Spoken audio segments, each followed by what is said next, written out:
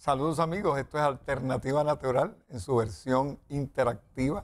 Qué bueno, estamos aquí Norma, mi hijo querido y yo, eh, pues para conversar con ustedes en el día de hoy sobre los temas de salud que más importancia tienen para ustedes, que son los que nos envían los textos. Saludos Norma.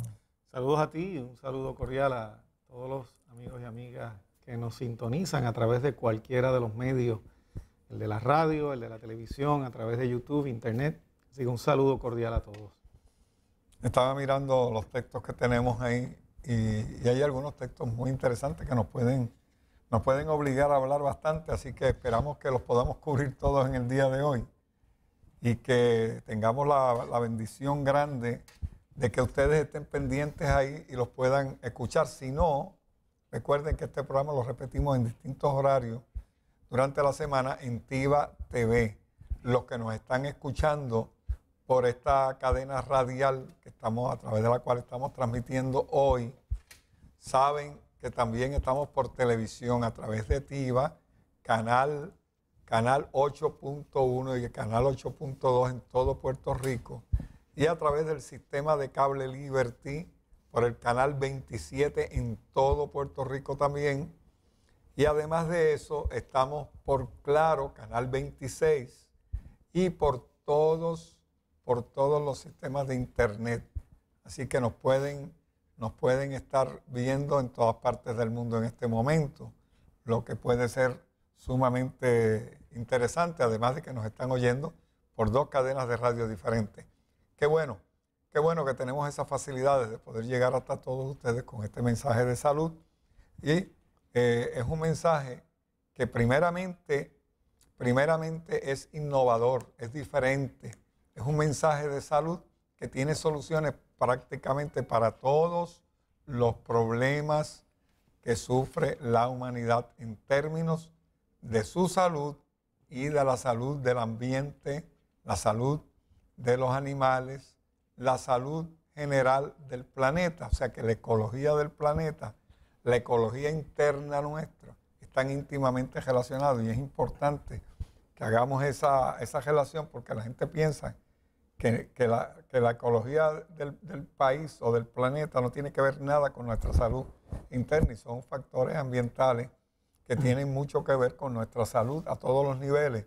Y eso es importante recalcarlo para que cuando usted, cuando estemos dándole la contestación a sus preguntas, usted esté consciente de que cuando hablamos del ambiente, hablamos de los aspectos emocionales, de sus problemas de salud, tienen que ver también con todo. Hay que tomar en consideración todos esos aspectos. Todos esos aspectos. Nosotros, nosotros y, el entorno es lo que nos hace ser lo que somos.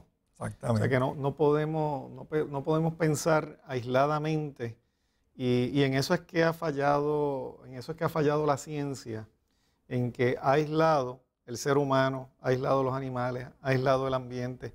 Pero fíjate que, fíjate que, es algo que no se puede seguir evitando el hecho de tomar todo en consideración, porque cuando todos estos años que se estuvo tomando eh, el, ser humano y el ambiente y no se produjo, eh, ni se tomó dentro del contexto que hay que evaluarlo y tomarlo, se produjeron pues, pues muchos daños ecológicos, se han producido daños a la salud y por eso es que tenemos personas sufriendo de cáncer, por eso que tenemos eh, animales en, peligro de extinción, muchas, muchas, muchos que han desaparecido ya. Vemos los desastres climáticos o climatológicos que afectan muchas partes del mundo, precisamente porque el desbalance en el, el, desbalance dentro del egoísmo del ser humano por tratar de cambiar el ambiente, de cambiar la naturaleza, de alterar los genes, de producir manipulación, la manipulación eh, de de, los componentes esenciales que son los que representan la identidad ah, de cada planta, de cada animal, hasta, hasta, hasta con los insectos y los virus han, han, cambiado la naturaleza de esto. Y fíjate, por eso, es que, por eso es que se producen estos desbalances, donde vemos unas especies dominando, donde vemos un mosquito como vector de un virus, y todo esto porque en algún momento dado la intervención humana cambió el proceso natural, alteró el proceso natural Y entonces al alterar el proceso natural se afecta a todo, se afecta la capacidad de su sistema inmunológico de poder reaccionar y crear la inmunidad natural que, que necesitaríamos para hacerle frente a todas estas situaciones. Se cambia la dinámica energética de los productos que usamos para la alimentación, se producen daños en el ambiente, se, la biodiversidad en todos los sentidos se, afecta.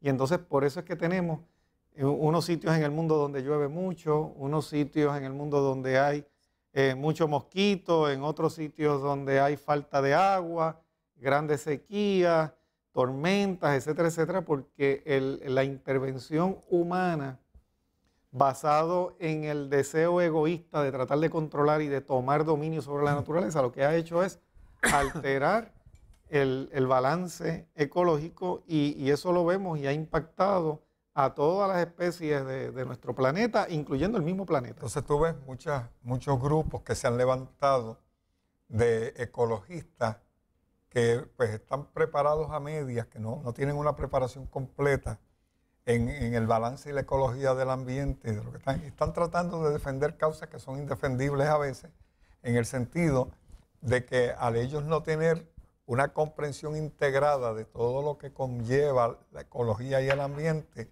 pues están defendiendo unas áreas, pero están dejando unos flancos sin, sin cubrir que son importantes, como por ejemplo lo es el caso específico y muy particular de, por ejemplo, del, del caso de la ceniza eh, estas que están tirando en Guayama.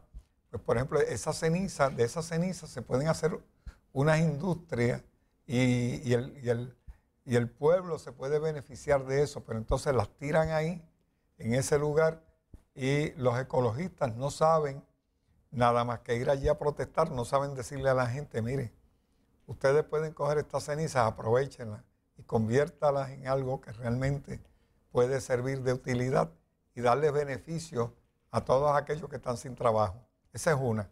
La otra es las gomas, por ejemplo, las gomas de carro. Tenemos, tenemos más gomas de carro en nuestro ambiente que las que debían haber, precisamente por la negligencia que el gobierno ha tenido en, pagarle, por ejemplo, a la gente que recoge esas gomas y las reciclan. Entonces, pues mira, pues, pues ya, de, ya debíamos de tener gente que estuviera eh, aprovechando esas gomas, convirtiéndolas convirtiéndolas en material, materia prima para asfalto y para otras, muchísimas otras cosas que se están usando en otros países. Exacto. las que se llevan de aquí las utilizan en otros países, pero aquí pues no se puede hacer. ¿Por qué? Pues sencillamente porque no hay la voluntad de hacerlo y porque, porque no hay un, incentivo que, que realmente los mueva a eso. Y es preferible montarlas en barcos y llevarlas a otros países donde las aprovechan y así seguimos hablando de muchos otros elementos para los cuales el sistema pues, pues no, provee, no provee ningún tipo de, solución al problema. Pero cuando, cuando, por ejemplo, en medicina natural, nosotros como sabemos, por ejemplo, cuáles son las causas de las enfermedades, sabemos cuáles son las causas de todos estos problemas que estamos enfrentando y que son problemas que tienen, todos tienen causa y tienen solución. O sea, si hay una causa, debe haber una solución. Si hay una enfermedad, tiene que haber una causa y tiene que haber una medicina, tiene que haber una solución también. Y en, todos los aspectos, la necesidad que se crea de la causa hace que también se, disponga de un resultado y de una solución a ese problema. Y eso, eh, eso nosotros los naturópatas somos expertos en ese tipo de, dinámica de solucionar el problema tan pronto descubrimos cuál es la causa.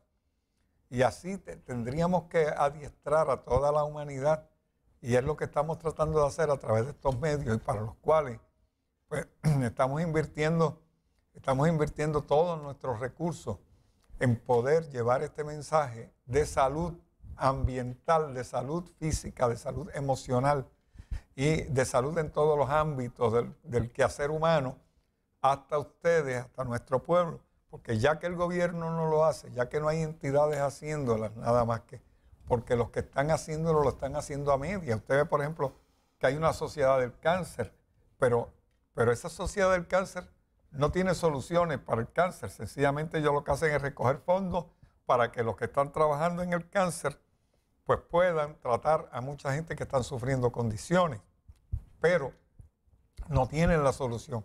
Está la sociedad de la diabetes, está la sociedad de la artritis, está la sociedad del renal, del, problema del riñón, pero, pero esos grupos no tienen, no pueden orientar en soluciones a esos problemas porque, porque las desconocen, porque no, no tienen la integración de los procesos que nosotros le estamos precisamente lo que le estamos presentando a ustedes en el día de hoy a través de la radio y de la televisión de este país es precisamente la solución a los problemas causados precisamente por todos esos, por todas esas eh, situaciones y todos esos defectos que la sociedad está presentando y no es otra razón que la falta de conocimiento.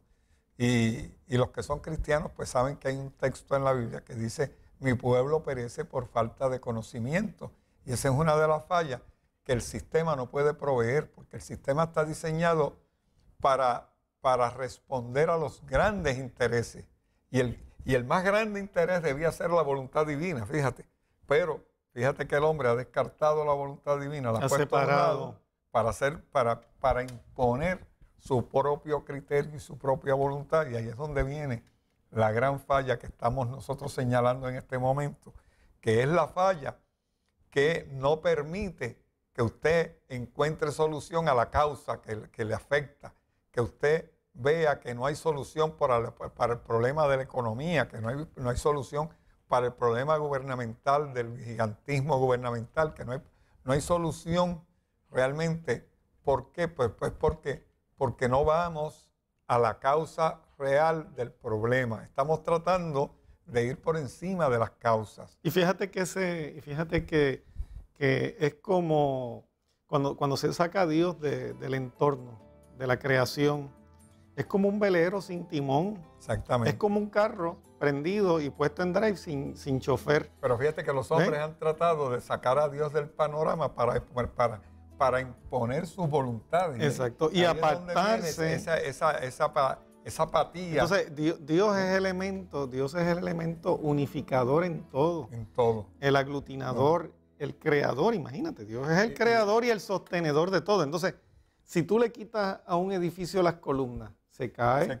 Si tú le quitas, si tú le quitas a un carro la fortaleza principal, la, fortaleza se cae. O sea, que lo que ha ocurrido en la sociedad precisamente, y, recuerdo aquella vez que tú hiciste el diagrama de los pilares de la sociedad, que, me acuerdo que desde pequeño lo, has estado enseñando, que cuando, cuando se quitaba cualquiera de los pilares, se caía el edificio. Se caía el edificio. Y entonces eso es lo que ha ocurrido.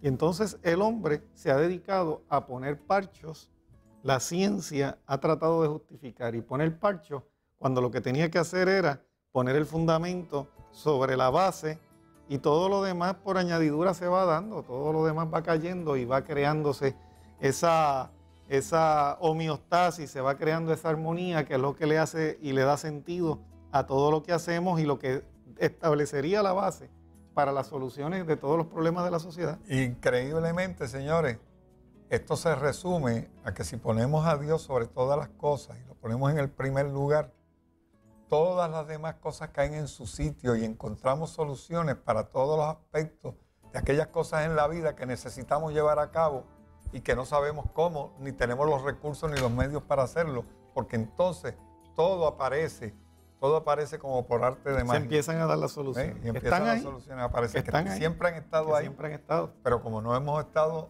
aprendiendo a descubrirlas, como estamos totalmente fuera del, del, factor que nos lleva a encontrarlas, nunca las vamos a encontrar de la manera que la estamos buscando, porque están en otro sitio que no es ese. Bueno, tenemos que ir a un corte comercial, pero no se retiren porque en breve regresamos con más de Alternativa Natural.